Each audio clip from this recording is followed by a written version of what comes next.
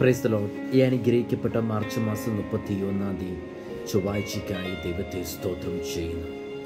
അനുഗ്രഹിക്കപ്പെട്ട ഒരു മാസം ദൈവം നമുക്ക് ദാനമായി നൽകി തന്നു. ഈ മാസത്തിന്റെ അവസാന ദിവസം ദൈവം ദാനമായി നൽകി തന്ന അനുഗ്രഹിക്കപ്പെട്ട ഒരു ദിവസത്തിനായി ദൈവത്തെ സ്തോത്രം ചെയ്യുന്നു. എല്ലാ മഹത്വം പിതുപുത്ര പരിശുദ്ധാത്മാവാം ത്രിയേക ദൈവത്തിന്. മുപ്പത്തി എട്ടാം സങ്കീർത്തനത്തിലേക്ക് നമ്മുടെ ശ്രദ്ധയെ തിരിക്കുമ്പോൾ കഷ്ടപ്പെടുന്ന രോഗിയുടെ ഒരു പ്രാർത്ഥനയായിട്ടാണ് ആ സങ്കീർത്തനത്തെ അറിയപ്പെടുന്നത്. ദാവീദ് ഈ സങ്കീർത്തനം രചിക്കുമ്പോൾ ഒത്തിരി കഷ്ടപ്പാടിന്റെയും വിഷമ ഘട്ടങ്ങളിലൂടെയും കടന്നു പോകുന്ന സന്ദർഭത്തിൽ ദാവീദ് മുപ്പത്തിയെട്ടാം സങ്കീർത്തനം അതിന്റെ ഇരുപത്തിരണ്ടാം വാക്യത്തിൽ ഇങ്ങനെ വായിക്കുന്നു. എന്റെ രക്ഷയാകുന്ന കർത്താവേ എന്റെ സഹായത്തിന് വേഗം വരണമേ. എന്റെ രക്ഷയാകുന്ന കർത്താവെ എന്റെ സഹായത്തിന് വേഗം വരണമേ. ജീവിതത്തിന്റെ ഏറ്റവും കൈപ്പേറിയ അനുഭവത്തിലേക്ക് കടന്നു പോകുമ്പോൾ ദാവീദ് പറയുകയാണ് കർത്താവേ എന്റെ രക്ഷയാകുന്ന കർത്താവെ വേഗം വരണമേ. വാക്യത്തിൽ പതിനഞ്ചും പതിനാറാം വാക്യത്തിൽ ഇങ്ങനെ വായിക്കുന്നു യഹോബി നിങ്കൽ ഞാൻ പ്രത്യാശ വച്ചിരിക്കുന്നു എന്റെ ദൈവമായ കർത്താവെ നീ ഉത്തരം വരണം അവർ എന്നെ ചൊല്ലി സന്തോഷിക്കരുതേ ഞാൻ പറഞ്ഞു. എന്റെ കാൽ വഴുതുമ്പോൾ അവർ എന്റെ നേരെ വമ്പ് പറയുമല്ലോ. അതെ ദൈവത്തോട് അപേക്ഷിക്കുകയാണ്. ദൈവത്തോട് കരഞ്ഞ് നിലവിളിക്കുകയാണ്. കർത്താവെ എന്നെ രക്ഷിക്കണമേ. ദാവീദിന്റെ ജീവിതത്തിന്റെ സങ്കടങ്ങൾ വരുമ്പോൾ ദാവീദ് ഒന്നാമത് ചെയ്ത കാര്യമെന്ന് പറയുന്നത് കർത്താവെ എന്നെ രക്ഷിക്കണമേ എന്ന് കർത്താവിനോട് പ്രാർത്ഥിക്കുന്ന ഒരു മനോഭാവം ദൈവത്തോട് ചോദിക്കുന്ന ഒരു മനോഭാവം. രണ്ടാമത് ദാവിദ് ചെയ്ത ഒരു കാര്യം ആ വാക്ക് ആ അധ്യായത്തിൽ തന്നെ മുപ്പത്തിയെട്ടാം സങ്കീർത്തനത്തിലെ അതിന്റെ പതിനഞ്ചാം വാക്യം വാക്യമാണ് നമ്മൾ നേരത്തെ വായിച്ചത്. അതിന്റെ കൂടെ പതിനെട്ടാം വാക്യം ഇങ്ങനെ വായിക്കുന്നു. ഞാൻ അകൃത്യത്തെ ഏറ്റുപറയുന്നു എന്റെ പാപത്തെക്കുറിച്ച് ദുഃഖിക്കുന്നു.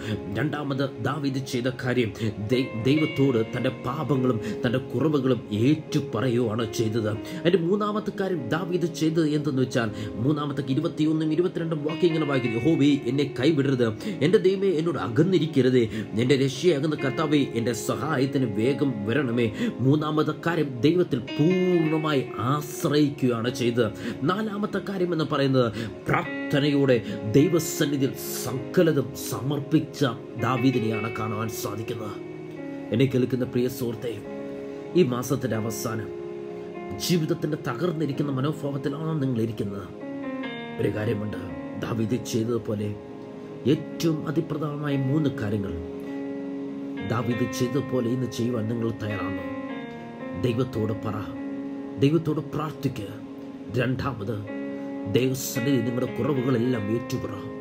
നിങ്ങളുടെ ജീവിതത്തിൽ വന്നുപോയ സകല തെറ്റുകളും കുറവുകളും ദൈവസന്നിധിയിൽ ഏറ്റുപറ.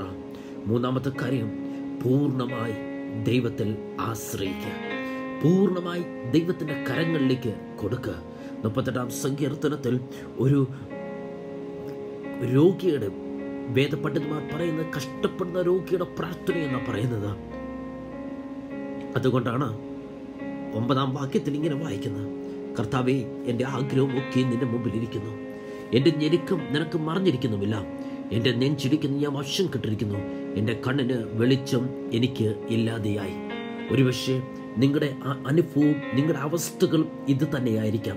ഇന്ന് പകൽക്കാലം ഒന്ന് പ്രാർത്ഥിക്കുവാൻ തയ്യാറാകുന്നുണ്ടോ? ഇന്ന് പകൽക്കാലം ദൈവസന്നിധിയിൽ ഒന്ന് സമർപ്പിക്കുവാൻ തയ്യാറാകുന്നുണ്ടോ? എന്റെ ദൈവമേ എന്റെ ജീവിതത്തിലൊരു മാറ്റം വരുത്തണം. എന്റെ ജീവിതത്തിൽ അസാധാരണമായ ഒരു പകർച്ച വെളിപ്പെട്ട് വരണം.